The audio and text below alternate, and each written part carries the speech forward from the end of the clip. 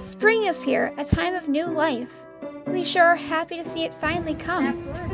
After over a year of enormous challenges, we're all hoping for brighter days ahead. Are you looking for hope and new life too? A place to live and enjoy your retirement years to the full? Look no further than St. Anne's, where our caring staff and friendly neighbors help make this possible.